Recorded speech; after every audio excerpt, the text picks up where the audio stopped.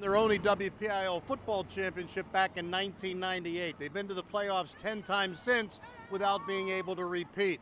Well, nothing could be better for them on homecoming night than a win over South Fayette because a lot of people think Moon could return to that championship this year. The Tigers came into the game ranked number one in the WPIAL, number four in the state in 5A, but they had a tough visitor hoping to spoil things. South Fayette in a conference opener for both.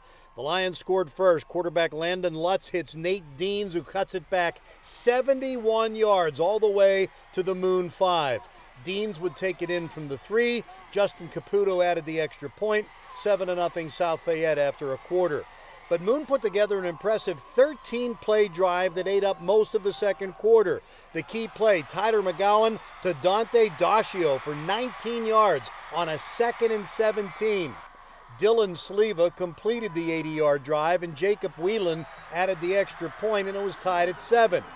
Moon got the ball back with less than three minutes in the half. No time for a 13 play drive this time. McGowan hits Tate Beachy for 24 yards to the South Fayette 26.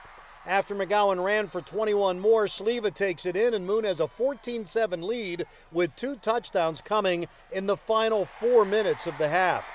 After a bad snap on a field goal try to start the second half for South Fayette, Moon struck on one play. A 57 yard connection from McGowan to Beachy. 21 to 7, Moon.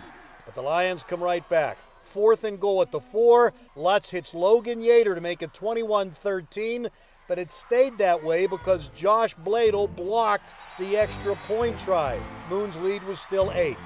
Fourth quarter, South Fayette with a first and goal at the one, but the Stout Moon defense held strong, pushing them back on two straight plays. The turnover on downs turned into a 92 yard clinching drive with McGowan taking it home for a 28 13 final. I think it just helps solidify everything they've done so far. You know, going into conference play, getting that first one under our belt, I think it shows that we've done what we've done the last five weeks is kind of what we are capable of doing here moving forward.